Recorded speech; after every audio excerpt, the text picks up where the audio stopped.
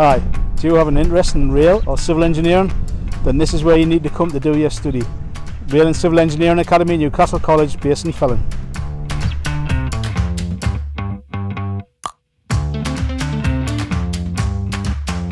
Rail and Civil Engineering Academy is a bespoke academy built to serve the needs of the rail industry alongside the civil engineering aspects. As you can see we've got some of the students already working hard over my shoulder. Let's go and have a look at them.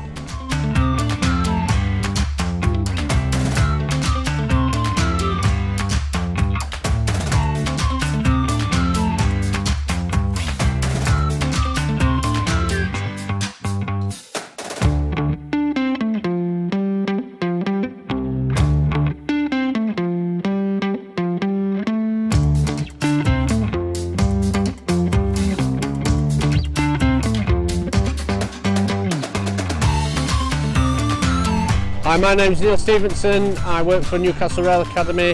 Uh, I'm currently teaching level three year ones where we are doing practical ass assessments, transposing rails, moving rails. In this current job, we're actually uh, repositioning a breather switch, which is a everyday job that they would actually do on the railway infrastructure. Throughout the course, we do do a lot of practical courses, all involving track alignment, track geometry, or everything that the railway really needs.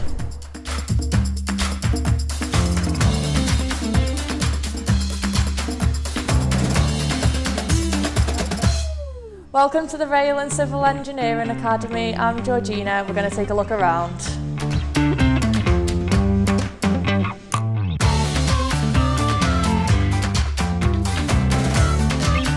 This is Newcastle College University Centre IT Suite. We have strong industry links and as you can be seen, this is sponsored by Cross Country.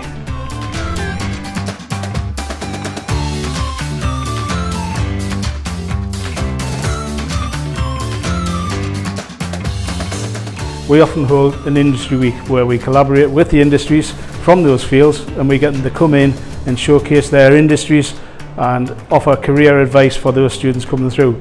So some examples of this might be we work closely with the fire brigade where we simulate a car crash. Um, we get students to sit in the car, the make-up teams come across and they'll actually make up the students as if it's been in a real life car crash.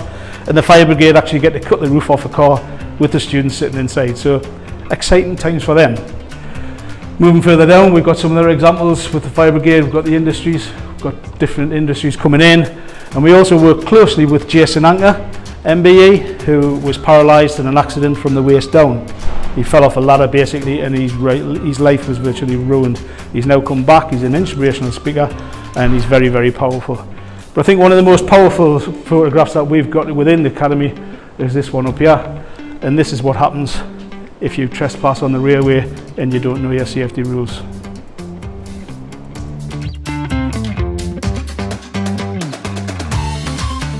Hi, my name's Angela Baird and I work at the Rail and Civil Engineering Academy. I'm a geotechnical engineer and I work here part-time. I have a degree in engineering geology, so that's a, a BSc, and also a master's MSc in engineering geology. And this is the, the geotechnical lab, so this is where students who are studying on our um, degrees or on our um, further education courses they get to learn about soils and how important they are to civil engineering and also rail, because it's, rail is part of civil engineering after all. So it's really important to understand whatever structure you're going to build on, you're going to be placing it on soil or on rock, and you need to get a really good understanding of how that soil and rock is going to behave and whether it's strong enough to build whatever it is that you want to be building. So um, we've got lots of different soil types, we've got some sands, some gravels, um, some clays, and the students get really hands-on with these. We do some descriptions, so it's obviously very important to understand what the materials are because the different particles behave in different ways. And then as we walk, go along towards the end, there's a, a shear strength test called the triaxial test. Which is this one here. So we place a, small cylinder in, in, in here of soil and that will get compressed and we'll see how the, that soil behaves. All these kind of tests are all really important to try and understand exactly how these soils are going to behave. In my career, I've worked in lots of different areas. I worked on the Olympic site. I helped to um, sort of look at the, the soils, how contaminated they are, and also um, when we brought material back in to compact, whether they were compacted correctly. Um, and that was for the Aquatic Centre. I've also worked on massive tunnelling schemes in London for major cables for National Grid. So trying to make sure that the, the, the materials and the strength of the soils are going to be good enough to support these, these um, tunnelling structures and how groundwater could potentially sort of impact on, on how they get built and, and the potential costs that are associated with it.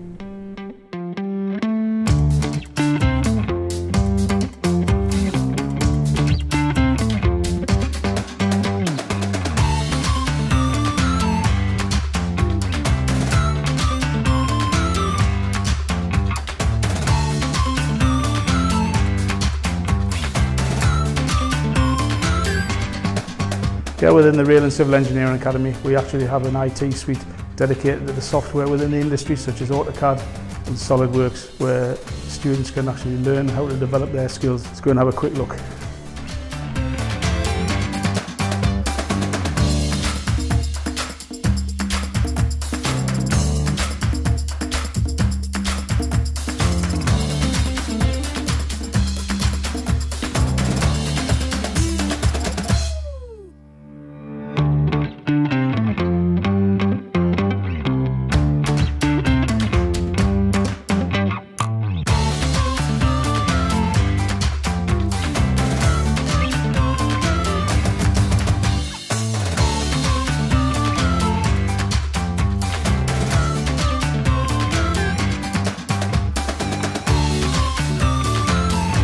Welcome to the main workshop within the Academy.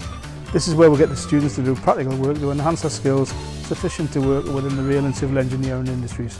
Why not have a quick look around?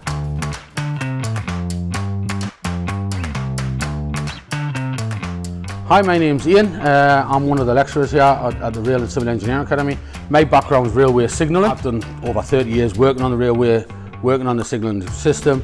Came to the college five years ago to pass on that knowledge. So my job now, my, my main role here is to teach railway signalling, which includes these level crossings and the, the rest of the signal equipment that we'll show you in this short video.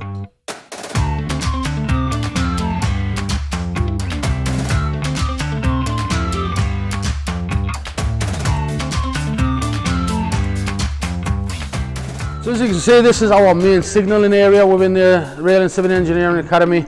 In this area, we've got our mainline signals, fully operational, full size, exactly the same as what you find out on the network. We've got different types, we've got a four aspect signal here, we've got a position light junction indicator at the top, We've also got a subsidiary signal with a stencil indicator as well. Also in this area we've got our location boxes. The only difference from uh, the ones in here to the ones that you would see out on the network is the ones on the network obviously have the steel doors. We've got the plastic uh, covers so we can, our students can all see it all and see exactly the workings and how it goes. The first set of points we're going to come to is hydraulic points or clamp lock points as they're called on the network. It's one of these ones here. These are hydraulic driven. As you can see, these are exactly the same as what's out on the network right now. These are quite a new modern version as well. These are what's called In-bearer clamp locks. These are quite new type rather than old. So this is the stu our students get to work on real size, real life equipment. And we've got more points here, which instead of being hydraulic driven, these are an electric motor. So these are what's called HW, 1000s and 2000s. So these are an electric motor which drives gears and cogs. So again, our students get to test real life signalling equipment. So they're not only learning the theory in here, they do get to get put their hands on real size, real life equipment.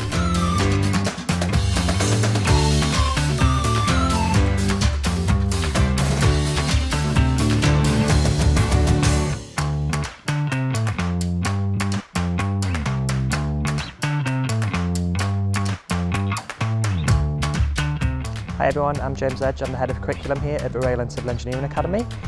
Right here beside me, I've got the new mock-up for the Stadler, is new fleet for the Metro. Within the Academy, we've got some excellent partnerships with a range of industry leaders. Nexus, Stadler are just some of the few which we'll work with.